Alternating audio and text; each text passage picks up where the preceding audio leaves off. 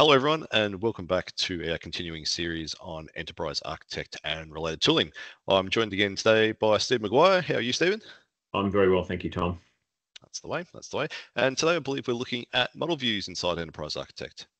Yeah, that's right, Tom. It's another one of my favorite uh, features.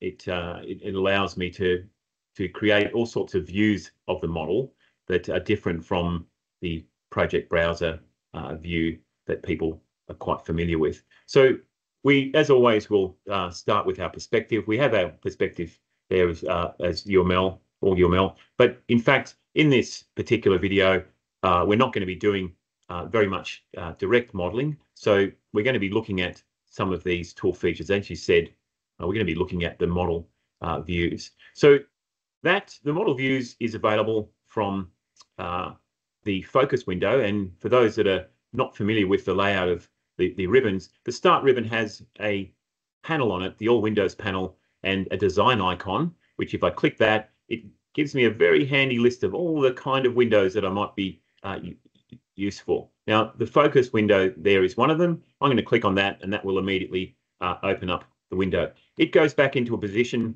uh, where I have used it before. And if you notice, there are a number of different panels on this window. There's model views, there's working sets. We've covered working sets in a previous uh, video, but that working sets is there. We've also got a quick find. So this is an alternative way to find something. If I'm looking for something like uh, payments, for example, spell that correctly, um, you know, I can just click that there and it gives me a very quick, um, you know, view of the things that are related there uh, to payments. Also, I can revisit uh, diagrams that I've uh, been looking at. So I can just double click on uh, on those ones there and see the diagram just opens up immediately.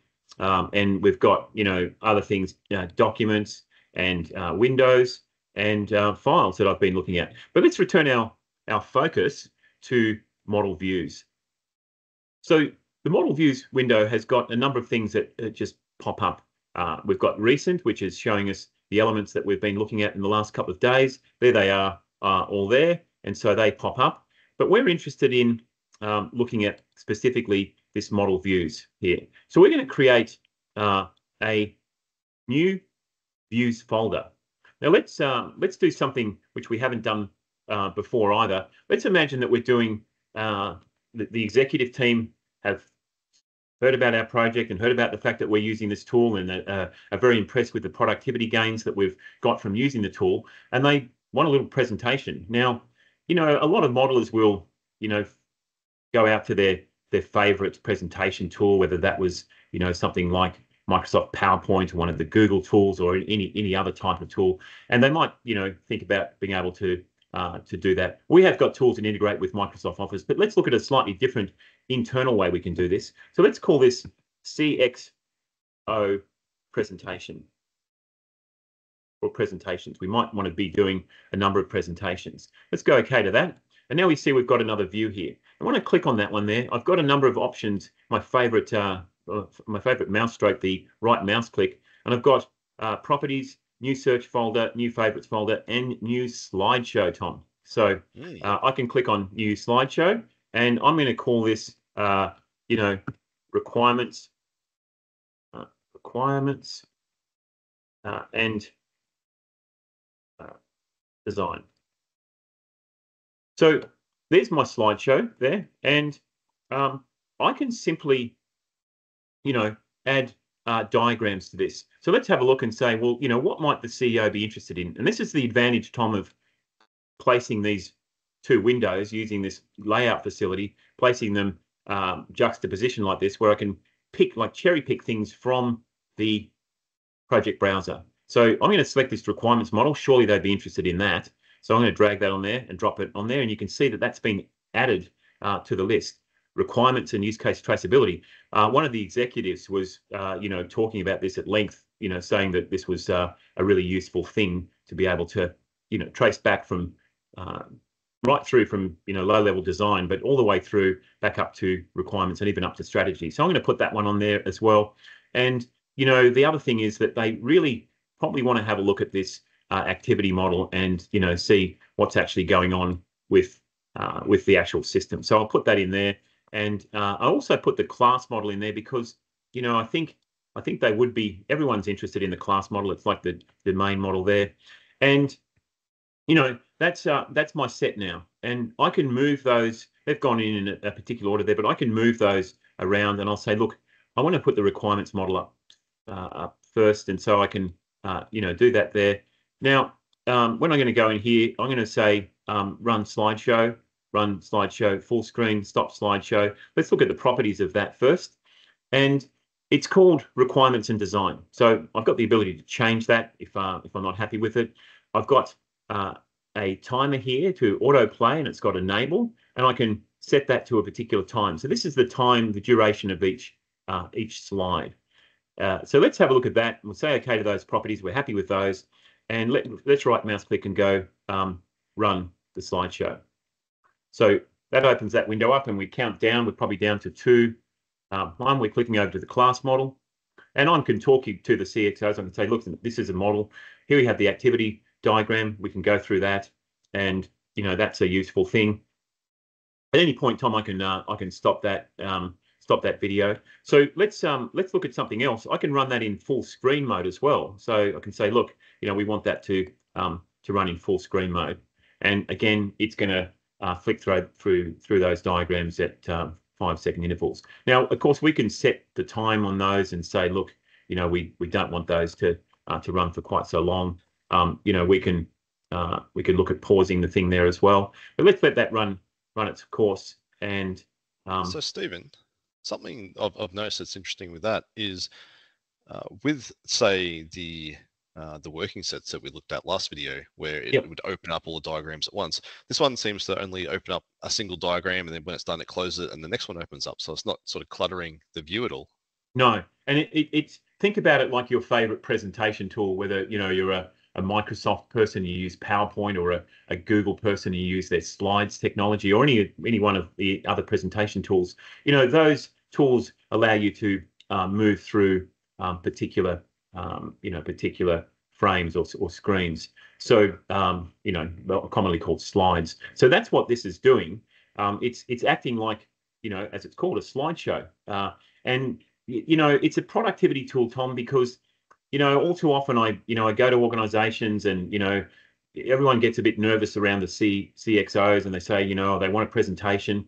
And actually, you know, I've worked very closely with with uh, that level um, of executives, and most of the time they're much more pragmatic than that. And if they knew that you were, you know, going off and you know crafting things inside another um, another tool, uh, you know, I, I, think they would be, um, you know, they would much be much happier to see you working inside the, this this tool. Now, of course, you can you can do any of that that you want. If I had the class model, I can, of course, uh, open that class model and I can publish that in any way I want. I can save it to the clipboard, and that's a typical thing that people do, and they paste it into their PowerPoint thing. But it's much it's much easier in a way, uh, you know, to work inside the model. And the other thing that happens, Tom, is that you know the the executives are you know they're they're inquisitive, and the the questions they ask are kind of quite often quite lateral, and they may you know say, look, exactly what is the parking session, and being in the model and being able to click on it and get you know the notes information uh, and take them take them to other parts of the model and say, look, you know, this is uh, this is where this is used.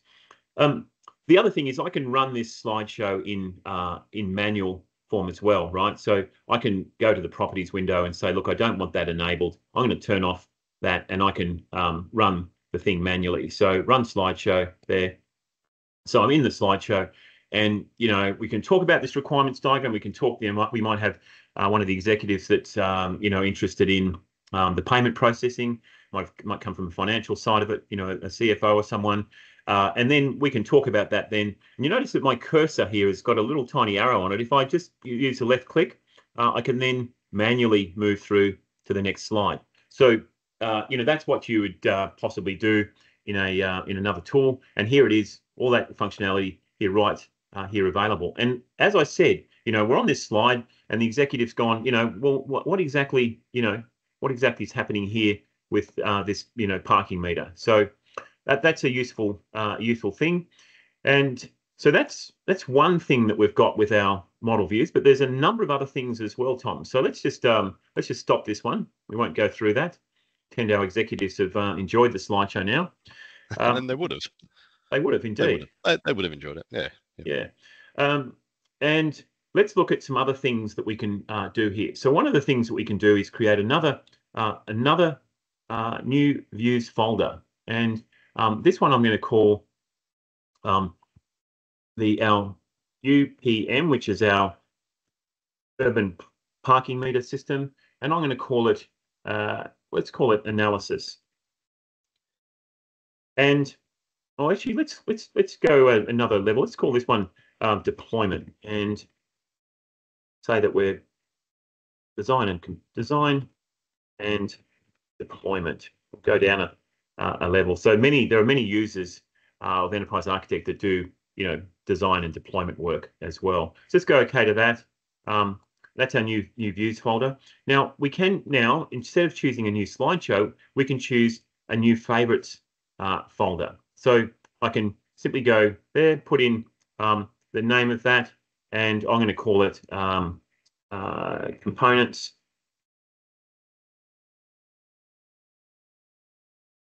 And deploy there. And let's um, that's that's now a folder. And again, I can drag things from the project browser. So again, probably the class model is something that you know everyone needs to look at, and that's going into that uh, list there. And um, the other thing I might want to do is this uh, component model here. Let's drag that component one in there, and um, let's drag in the um, composite structure diagram. All these things that are you know level uh, down at the sort of deployment level and drag those ones in. So now um, I've got um, a set of uh, diagrams there that are my favorites. So, you know, a useful thing, uh, you know, to have there that we've got this model views and we've got favorites there and I can create any number of these, Tom. So um, if I look at this, um, you know, these are my, my favorites here and I can just click through them, open them up and, um, you know, they're, they're available to me. So uh, a really useful a useful thing uh, there with that uh, with those favorites. There is one other thing that I uh, want to look at, and that is uh, the the thing. I can put a search in here, and let's put it in at the requirements level here, and um, requirements and design there. It's a slideshow, but let's put it in here at this. Um, oh, actually, no, let's put it at the design level there, and we'll say a new search folder. So again, we haven't looked at the search facilities, which is definitely the subject for at least one more video, if not a couple of them, because it's a very, very powerful uh, feature. Let's look in this. It's popped up a window, and let's put in, um, I'm going to put in the name of it, I'll call it um, financial uh, financial analysis, something like that. And let's put in a search term of uh, payments. Yeah. Uh, so actually, well, let's put in debits. Let's put in a, a, a debits. We'll be much more specific. So we've got a whole range of different uh, searches we can do there. Uh, and what we can do is look at this, uh, refresh this search. So we want this search to be refreshed, and we can look at how frequently we want that to happen. So uh, let's let's put this up to uh, five seconds and notify me when new results are found. So I'm going to do that and hit OK there.